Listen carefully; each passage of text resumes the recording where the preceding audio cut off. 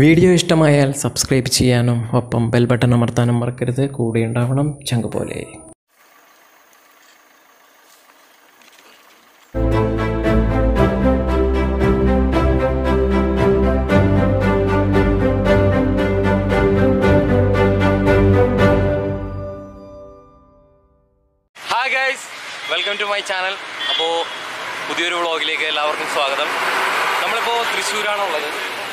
യാത്രയുടെ തുടക്കത്തിലാണ്. ഒറ്റയ്ക്കല്ല ഇവിടെ നമ്മുടെ ഗൈസും ഉണ്ട്. അപ്പോൾ നമ്മളിവിടുന്ന് പോകുന്നത് തിരുനെല്ലി ട്രക്കിങ്ങിനാണ്. അപ്പോൾ ഇപ്പോൾ നമ്മളിവിടുന്ന് തൃശ്ശൂരിൽ നിന്ന് ഒരു ബ്രോ ഉണ്ട് ജിതിൻ ബ്രോ. പിന്നെ സനീഷ്. സനോജ് ഭായ് നമ്മൾ നാട്ടുകാരാണ് പറവൂര്. ഡെൻസിൽ ബ്രോ കൊടുങ്ങല്ലൂർ അപ്പോൾ നമ്മൾ ഒരുമിച്ച് ഇപ്പോൾ ഇവിടെ തൃശ്ശൂർ വന്ന് ജോയിൻ ചെയ്തു. നമ്മൾ നേരെ ബ്രഹ്മഗിരിയാണ് പോകുന്നത്. അപ്പോൾ നമ്മൾ നേരെ തിരുനെല്ലി ടൗണിലേക്ക് ടച്ച് ചെയ്യും. നമ്മളിന്ന് വൈൽഡ് എഫ് എന്ന് പറയുന്ന പുതിയൊരു ഈവെന്റിന്റെ കൂടെയാണ് കുറേ പോയി പരിചയമുള്ളതാണ്. അപ്പോൾ നമ്മളിന്ന് അവരുടെ കൂടെ ജോയിൻ ചെയ്തിട്ട് പുതിയൊരു ട്രിപ്പിനാണ് പോകുന്നത്. ഇദ്ദേഹമാണ് എന്നെ ഈവെന്റിലേക്ക് ഇൻവൈറ്റ് ചെയ്ത് നന്ദി. അപ്പോൾ നമുക്ക് നേരെ തിരുനെല്ലി പോവാം. തിരുനെല്ലിയിലേക്കുള്ള ചെക്ക് പോസ്റ്റ് കഴിഞ്ഞുള്ള വഴിയാണത്. ഈ ആറ് കിലോമീറ്റർ പരിധിയിൽ വണ്ടി വഴിയിൽ നിർത്താനോ പുറത്തിറങ്ങാനോ പാടില്ലാത്തതാണ്. പ്രത്യേകം ശ്രദ്ധിക്കുക വയനാട് വന്യജീവി സംരക്ഷണ കേന്ദ്രത്തിന് നടുവിലായാണ് ഈ സ്ഥലം സ്ഥിതി ചെയ്യുന്നത്. ഇതിന് വടക്കുകിഴക്കായി കർണാടകത്തിലെ നാഗർഹള ബന്ദിപ്പൂർ എന്നീ വന്യജീവി സംരക്ഷണ കേന്ദ്രങ്ങളും തെക്കുകിഴക്കായി തമിഴ്നാട്ടിലെ മുതുമലയും സ്ഥിതി ചെയ്യുന്നു. വളരെ ജൈവവൈവിധ്യമുള്ള ഈ വന്യജീവി സംരക്ഷണ കേന്ദ്രം നീലഗിരി ബയോ റിസർവിന്റെ ഒരു പ്രധാന ഭാഗമാണ്. നാനാവിധത്തിലുള്ള സസ്യജീവി ജാലങ്ങളെ ഇവിടെ കാണാനാകും. അംല എന്ന വൃക്ഷത്തിന്റെ ഇന്ത്യൻ നെല്ലിക്കയുടെ തമിഴ് മലയാളം പദമായ നെല്ലിയിൽ നിന്നാണ് തിരുനെല്ലി എന്ന പേരുണ്ടായത്. മാനന്തവാടിയിൽ നിന്നും മുപ്പത്തിരണ്ട് കിലോമീറ്ററാണ് തിരുനെല്ലിയിലേക്കുള്ള ദൂരം. മാനന്തവാടിയിൽ നിന്നും സുൽത്താൻ ബത്തേരിയിൽ നിന്നും K S R T C ബസ്സുകൾ സർവീസ് സ്ഥിരമായി നടത്തുന്നുണ്ട്.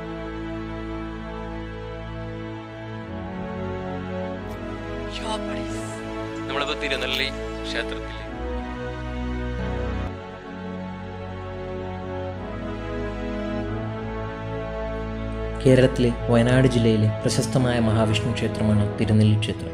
കർണാടക അതിർത്തിയിൽ ബ്രഹ്മഗിരി മലനിരകളിലെ കമ്പമല കരിമല വരടിക മലകൾ എന്നിവയാൽ ചുറ്റപ്പെട്ട തിരുനെല്ലി ക്ഷേത്രം സഹ്യമല ക്ഷേത്രം എന്നും അറിയപ്പെടുന്നു. മുപ്പത് കരിങ്കൽ തൂണുകളാൽ താങ്ങി നിർത്തിയിരിക്കുന്ന തിരുനെല്ലി ക്ഷേത്രം ഒരു വാസ്തു വിസ്മയമാണ്.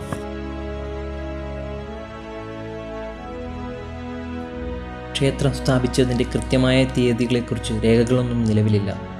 തർക്കങ്ങൾക്കപ്പുറത്താണെങ്കിലും തിരുനെല്ലി ഒരു കാലത്ത് പ്രധാന പട്ടണവും തീർത്ഥാടന കേന്ദ്രവുമായിരുന്നു.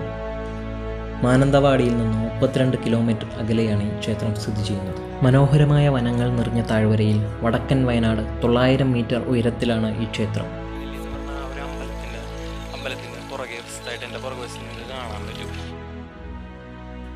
പണ്ടുകാലത്ത് ക്ഷേത്രത്തിലേക്ക് ശുദ്ധജലം എത്തിക്കുന്നതിന് വേണ്ടി നിർമ്മിച്ച ഈ കൽപ്പാത്തിക്ക് പിന്നിൽ ഒരു ഐതിഹ്യമുണ്ട്. ചിറക്കൽ രാജാവിന്റെ പത്നി വാരിക്കര നായനാർ കുടുംബത്തിലെ അംഗമായ വാരിക്കര തമ്പുരാട്ടി ഒരിക്കൽ ക്ഷേത്ര ദർശനത്തിനെത്തുകയും ഭഗവത് ദർശനത്തിന് ശേഷം അല്പം വെള്ളം ചോദിച്ചപ്പോൾ പാപനാശിനിയിൽ നിന്ന് വെള്ളം എത്തിക്കുന്നതിനുള്ള വിഷമം ശാന്തിക്കാരൻ തമ്പുരാട്ടിയോട് പറഞ്ഞു. ക്ഷേത്രത്തിലേക്ക് ശുദ്ധജലം എത്തിച്ചതിന് ശേഷം മാത്രമേ ഇനി ജലപാനം ചെയ്യുകയുള്ളൂ എന്ന് ഭഗവാന് മുന്നിൽ പ്രതിജ്ഞ ചെയ്യുകയും പരിചാരകരെ വരുത്തി ക്ഷേത്രത്തിലേക്ക് വെള്ളം എത്തിക്കുന്നതിനുള്ള നടപടിക്ക് കൽപ്പന ചെയ്യുകയും ചെയ്തു. പുറകിലായി കാണുന്ന ബ്രഹ്മഗിരി മലനിരകളിൽ നിന്നാണ് ഈ ശുദ്ധജലപാത്തി ഒഴുകി തുടങ്ങി ചെയ്തിരിക്കുന്നത് അരുവി കാടിനുള്ളിൽ അരുവിയിൽ നിന്നാണ് ഈ വെള്ളം ഇങ്ങോട്ട് എത്തുന്നത്. ഇപ്പോഴതുപോലെ തന്നെ തുടരുകയാണ്. ഇത് ഈ അമ്പലത്തിന് പുറകു വശത്തായിട്ട് കാണുന്ന ഒരു വലിയൊരു അത്ഭുതമാണ്. കാരണം ഇപ്പോൾ നമുക്കിതൊന്ന് കാണാൻ സാധിക്കും. ഈ അമ്പലത്തിന് താഴെ വശത്തായിട്ടൊരു കുളമുണ്ട്. നമ്മൾ ആ കുളം കാണാനായിട്ട് പോകുക അവിടെ പടി ഇറങ്ങി വരുമ്പോൾ ഈ പടി അന്ന് അന്നത്തെ കാലഘട്ടത്തിൽ ഈ അമ്പലത്തിന് വേണ്ടി സ്പോൺസർ ചെയ്തിരിക്കുന്ന ഓരോ വ്യക്തികളുടെയും പേരാണ് ഇവിടെ അറിയാം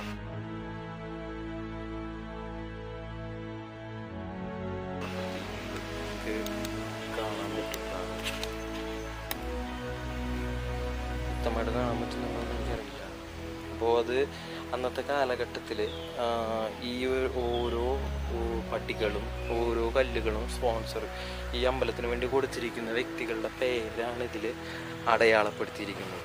കറക്റ്റ് വിശദമായിട്ട് നിങ്ങൾക്ക് കാണാൻ പറ്റും. കണ്ടത് കൃഷ്ണ വാരിയർ തൃശ്ശിലേരി. ഇത് അന്നത്തെ പേര് അമ്പൂച്ചം അങ്ങനെ ഓരോ ഒരു ഓരോ ഇല്ല ഓരോ തറവാട്ടിലെ ഓരോരോ ആൾക്കാരുടെ പേരായിരിക്കും അത് വ്യക്തമായിട്ട് അടയാളപ്പെടുത്തിയിരിക്കുന്നത്. അന്ന് അന്നത്തെ കാലഘട്ടത്തിൽ നമ്മൾ ഇന്നത്തെ കാലഘട്ടത്തിൽ നമ്മൾ ഈ വലിയ മാർബിളിന്റെയും അല്ലെങ്കിൽ ഗ്രാനൈറ്റിലൊക്കെ കൊത്തിവെക്കുന്നത് പോലെ അന്നത്തെ കാലഘട്ടത്തിൽ പടിയിൽ തന്നെ ഈ സമയത്ത് ഇവിടെ തിരക്കൊന്നുമില്ല വെച്ചിരിക്കുന്നില്ല ഇവിടെ നമുക്ക് ചെറിയൊരു കുളം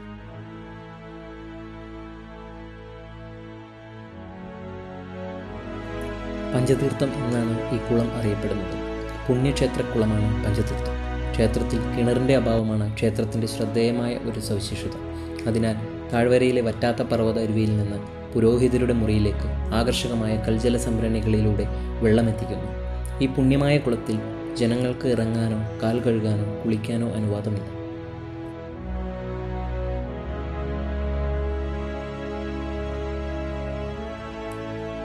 പാപനാശിനി. എല്ലാ പാപങ്ങളും കഴുകിക്കളയുന്ന സ്ഥലമായാണ് പാപനാശിനിയെ എന്നും അറിയപ്പെടുന്നത്. തിരുനെല്ലി ക്ഷേത്രത്തിനടുത്തുള്ള ബ്രഹ്മഗിരി ഹിൽസ് പ്രദേശത്ത് ഒരു നീരുറവയായി നദി ആരംഭിക്കുന്നു പിതൃക്കൾക്ക് ബലിയർപ്പിക്കുന്നതിനായുള്ള മലബാറിലെ ഒരു പ്രധാന സ്ഥലമാണ് ഇത്. മലയാള മാസങ്ങളായ കർക്കിടകം തുലാം കുംഭം എന്നീ മാസങ്ങളിലെ അമാവാസി ദിവസങ്ങളിലാണ് ബലിയിടുക. ഈ ക്ഷേത്രത്തിൽ ബലിയിട്ട മരിച്ചവരുടെ ആത്മാവ് ഭഗവത് പാദങ്ങളിൽ ലയിച്ച് മോക്ഷം പ്രാപിക്കുമെന്ന വിശ്വാസമുണ്ട്. അതിനാൽ അനേകായിരങ്ങളാണ് ഇവിടെ പിതൃബലി തിലഹോമം പിതൃപൂജ എന്നിവ നടത്താൻ എത്തിച്ചേരുന്നത്. ഇവിടെ ഫോറിനേഴ്സ് ഒക്കെ വരുന്ന സമയമാണ്. ഏത് സമയത്താണ് ഇവിടെ കൂടുതൽ ആളുകൾ? കർക്കിടഭാഗം അല്ല അല്ലാതെ ഈ ഞായറാഴ്ച ദിവസങ്ങളിൽ. ശനി ഞായർ ദിവസങ്ങളിൽ ഇവിടെ കൂടുതലായിട്ട് ആളുകൾ കാണാൻ വരുന്നുണ്ട്. ഇവിടെ ടിക്കറ്റോ അങ്ങനെ വേറെ ഇതൊന്നും ഇല്ല എല്ലാവർക്കും വന്ന് കാണാൻ പറ്റും. ചേട്ടന്റെ പേരെന്താ? ശിവദാസ് ഇവിടെ തന്നെയാണോ? ശരി ശരി. വളരെ നന്ദി. അപ്പൊ നമ്മൾ അവിടെ നിന്ന് തിരിച്ച് അമ്പലത്തിന് അങ്ങോട്ട് പോവുകയാണ്.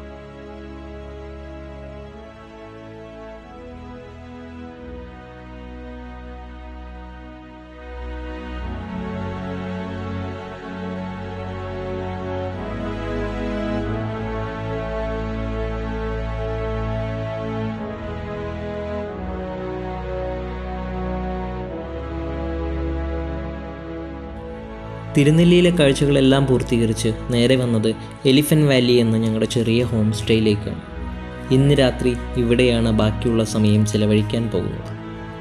വൈൽഡ് എഫ് എം എന്ന വാട്സപ്പ് കൂട്ടായ്മയാണ് തിരുനെല്ലി ബ്രഹ്മഗിരി എന്ന ഈ ട്രക്കിംഗ് സംഘടിപ്പിക്കുന്നത്. അതിനാൽ ഈ ഗ്രൂപ്പിലെ കോർഡിനേറ്റേഴ്സിനെയും മറ്റു അംഗങ്ങളെയും എല്ലാം പരിചയപ്പെടേണ്ടതുണ്ട് നമ്മൾ ഇവിടെ അക്കോമഡേഷൻ ഫെസിലിറ്റി ഉള്ള സ്ഥലത്തെത്തി. ഡോർമെറ്ററി സെറ്റപ്പ് ആണ്. നമ്മളിവിടെ നാൽപ്പത് പേര്. ഒരു ഈ ഒരു ഹാളിൽ നമുക്ക് ഒരു ബെഡിൽ രണ്ട് പേര് വെച്ചിട്ട്. നല്ല സ്റ്റാൻഡേർഡ് സെറ്റപ്പ് എ സി ഇല്ല എ സി വേണ്ട. എ സി ആവശ്യമില്ല ഇവിടെ. ഡോർമിറ്ററി നമ്മളിതൊരു ഇവന്റ് ആയിട്ടാണ് ഫങ്ഷൻ ചെയ്യുന്നത്. അപ്പോൾ എല്ലാവരും ഒരുമിച്ച് ഒരു പ്രത്യേക ഫീലാണ്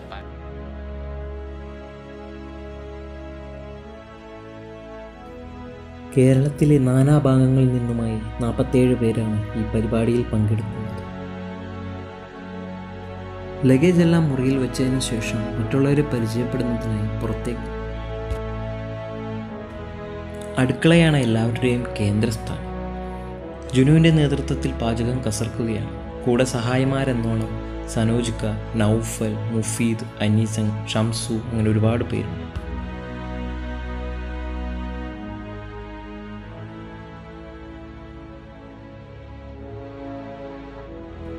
ഇതൊന്നും അറിയില്ലെന്ന മട്ടിൽ മാറി നിന്ന് വാചകമടിക്കുന്നവരുമുണ്ട് അടുക്കളയിൽ കഴിക്കുന്നതിന് വേണ്ടി മാത്രം കയറി കട്ടൻ ചായയും ഷെബിയുടെ ഉമ്മ കൊടുത്തയച്ചു ഉണ്ണിയപ്പവും കഴിച്ചതോടെ യാത്രാക്ഷീണമെല്ലാം മാറി.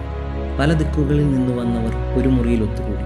ചെറിയൊരു പരിചയപ്പെടലും നാളത്തെ ബ്രഹ്മഗിരി ട്രക്കിങ്ങിൽ അറിഞ്ഞിരിക്കേണ്ട ചില കാര്യങ്ങൾ പറഞ്ഞു തരുന്നതുമായിരുന്നു സെഷൻ.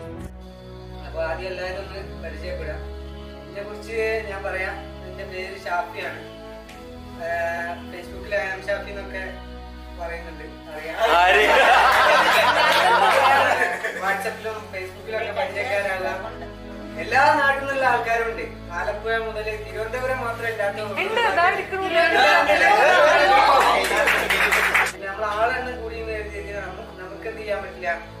അത് എൻജോയ്മെന്റ് നമ്മളെ എൻജോയ്മെന്റ് നമുക്ക് നഷ്ടപ്പെടുത്താൻ പറ്റില്ല. അത് നമ്മൾ നമ്മളതായിട്ടുള്ള രീതിയിൽ എങ്ങനെ വേണമെങ്കിലും ചെയ്യാം. ഇപ്പൊ ഇത്രയും കൂടുതൽ ആൾക്കാരുള്ള ക്യാമ്പുകൾ നമ്മൾ ഒരുപാട് വിജയിച്ച ഒരുപാട് ക്യാമ്പുകളുണ്ട്. അപ്പോൾ നമ്മളെ ക്യാമ്പ് അതേപോലെ നല്ലൊരു അടിപൊളി സംഭവം മറക്കാനാവാത്ത പരിപാടിയാക്കി മാറ്റണം.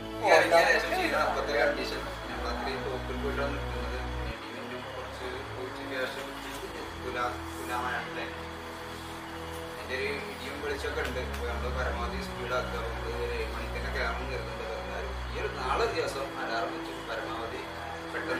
ഇത്രയും ആൾക്കാർ ഭക്ഷണം കഴിച്ചിട്ട് വേണം പോകാനും ടൈം എടുക്കും. കാര്യങ്ങളൊക്കെ നമ്മൾ ഫ്രഷ് ഒക്കെ ആണ് സമയത്ത് പോകണം നമുക്ക് സമയം എന്തായാലും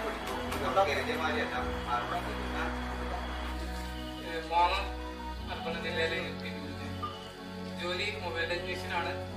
അടുത്ത് തന്നെ കാവലൂര് പിന്നെ വൈൽഡ് എഫിന്റെ കൂടെ ഫസ്റ്റ് ആയിട്ട് എറണാകുളത്തേക്ക് ട്രിപ്പ് പോകുന്നതാണ് പിന്നെ ശേഷം കഴിയാവുന്നിടത്തോളം മാക്സിമം ട്രിപ്പ് പങ്കെടുക്കാറുണ്ട്. എന്റെ പേര് മുഫീദ്. വീട് മലപ്പുറം പൊന്നാനി മാറഞ്ചേരി പറയും വൈൽഡ് രണ്ടാമത്തെ പ്രോഗ്രാമാണ് കല്യാണം കഴിഞ്ഞ്. രണ്ട് കുട്ടികളുണ്ട് ചെറിയൊരു കച്ചവടമുണ്ട് വലിയ യാത്ര ഒന്നും നടത്തിയിട്ടില്ല. അപ്പൊ ഈ ഗ്രൂപ്പിനെ പോയി കഴിഞ്ഞാൽ നമ്മളെ എക്സ്പ്ലോർ ചെയ്യാത്ത കുറെ സ്ഥലങ്ങൾ കൂടി എത്തിക്കും നമുക്ക് യാത്രകൾ ചെയ്യാറുണ്ട്. അങ്ങനെ വലിയ യാത്രകളൊന്നുമില്ല. ചെറുത് ചെറുത്. സാധാ പെയിന്റിങ്ങിന് പണിയെടുക്കുന്നത് ആറ് ദിവസം ആറ് ദിവസം പണിയെടുക്കും. ഞായറാഴ്ച വെടിക്കും ഫോട്ടോഗ്രാഫറാണ്. ഒരുപാട് ട്രാവൽ ചെയ്തിട്ടില്ല കുറച്ച് ട്രാവൽ ചെയ്യാറുണ്ട് പിന്നെ കൂടുതൽ ഈ ഗ്രൂപ്പ് ഇവന്റുകളൊക്കെ വരുന്നത് ശനി ഞായറാണ് ഈ ശനി ഞായർ മാത്രമേ ജോലിയുള്ളൂ ബാക്കി ക്ലാസ്സുകൾ വെറുതെ ഇരിക്കാൻ ഇല്ല പണ്ടോട്ടുള്ള ആഗ്രഹം മുഴുവൻ വളർന്നു. ഇടയ്ക്ക് വെച്ച് വളർന്നു. പിന്നെ പെട്ടെന്ന് അഞ്ച് പുളിക്കും.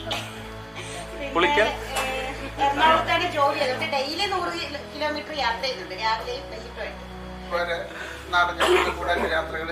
നമുക്ക് വേറെ പോസ്റ്റ് കണ്ടിട്ട് ഇൻസ്പയർ ആയിട്ടാണ് ചാടി എണീറ്റ് വന്നത്. എനിക്ക് പിള്ളേരുടെ ഷാഫിനോട് ചീത്ത പറഞ്ഞ് തല്ലുകൂടിയിട്ടാണ് കടന്നു കയറിയത്. പിന്നെ നിസാമുദ്ദീൻ ആലപ്പുഴ മണ്ടാണ് സാറും. മെക്കാനിക്കാണ് രണ്ടാമത്തെ അതാണ്.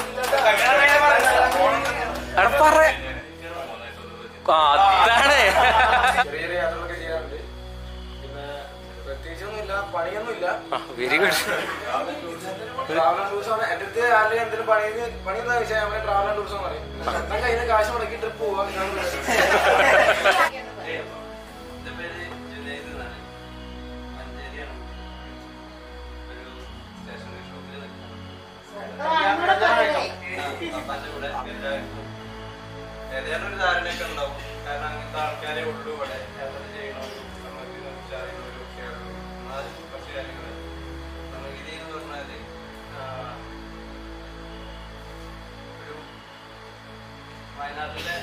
അറിയപ്പെടാത്ത ഒരു ട്രക്കിംഗ് സ്പോട്ടാണ്. ചമ്ര അതേപോലെ ബാണാസുര അറിയായിരിക്കും അതുപോലെ ചെറപ്പുലി അടുത്ത് ബാണാസുര ക്രോസ് ചെയ്തതിന് ശേഷം ഓപ്പൺ ആക്കിയ ചെറപ്പുലി ബാണാസുര തന്നെയാണ് അതേപോലെ ഒരു കർണാടക കേരള ബോർഡറായിട്ട് നിൽക്കുന്ന ഒരു ഇതിലാണ് ബ്രഹ്മഗിരി. ബ്രഹ്മഗിരി അല്ല ഈ ഒരു മൗണ്ടൻ റേഞ്ചിന്റെ ഹയസ്റ്റ് പീക്ക് കുറച്ചും കൂടി അപ്പുറത്തുള്ള നമ്മളെ പക്ഷിപാത ഇവിടുന്ന് ഒരു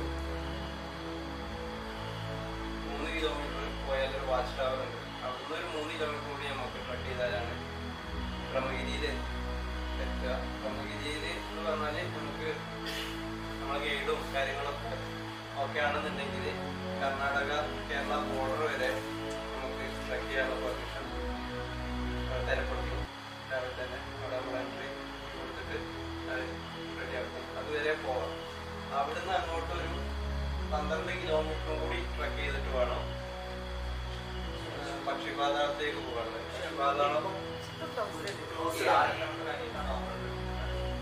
അല്ല ഇത് നമ്മൾ ബ്രഹ്മഗിരിയിലേക്ക് അറിയാം സംശയമുണ്ട്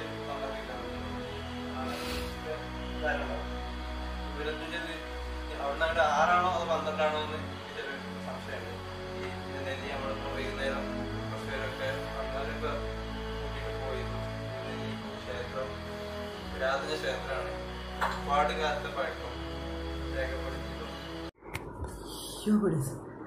അപ്പോൾ ഇന്നത്തെ തിരുനെല്ലിയിലെ ശേഷങ്ങളെല്ലാം നിങ്ങൾക്ക് ഇഷ്ടപ്പെട്ടു എന്ന് വിചാരിക്കുന്നു. സമയം പത്തര മണിയായി. അപ്പോൾ എല്ലാവരെയും പരിചയപ്പെട്ടു. എല്ലാം കഴിഞ്ഞു. എല്ലാവരും ഉറക്കത്തിലേക്ക് പോയി. അതുകൊണ്ടാണ് ഞാൻ സൗണ്ട് കുറച്ച് സംസാരിക്കുന്നത്. അപ്പോൾ ഇനിയിപ്പോൾ നാളെ രാവിലെ ഏഴ് മണിക്ക് ഇവിടുന്ന് ബ്രഹ്മഗിരി ട്രക്കിംഗ് സ്റ്റാർട്ട് ചെയ്യും. അപ്പോൾ ഇന്നത്തെ വീഡിയോ എല്ലാവർക്കും ഇഷ്ടപ്പെട്ടെന്ന് വിചാരിക്കുന്നു. ബ്രഹ്മഗിരിയിലെ സുന്ദരമായ ട്രക്കിംഗ് കാഴ്ചകളുമായി അടുത്ത വ്ളോഗ് ഞാൻ വരും. ചാനൽ സബ്സ്ക്രൈബ് ചെയ്തിട്ടില്ലാത്തവർ പ്ലീസ് ചാനലും സബ്സ്ക്രൈബ് ചെയ്യുക. ഒരുപാട് സുന്ദരമായ കാഴ്ചകൾ നിങ്ങൾക്ക് വേണ്ടി ഞാൻ വീഡിയോ ആയിട്ട് ചെയ്യുന്നുണ്ട്. അപ്പോൾ ഒന്ന് സപ്പോർട്ട് ചെയ്യണം. വീഡിയോ ഇഷ്ടപ്പെട്ടെങ്കിൽ അഭിപ്രായങ്ങൾ വീഡിയോയ്ക്ക് താഴെ കമന്റായിട്ട് രേഖപ്പെടുത്തണം. ഷെയർ ചെയ്യണം. ഓക്കെ അപ്പോൾ കൂടെ ഉണ്ടാകണം ചങ്ക പോലെ വീഡിയോ ഇഷ്ടമായാൽ സബ്സ്ക്രൈബ് ചെയ്യാനും ഒപ്പം ബെൽ ബട്ടൺ അമർത്താനും മറക്കരുത്. കൂടെ ഉണ്ടാവണം ചങ്ക പോലെ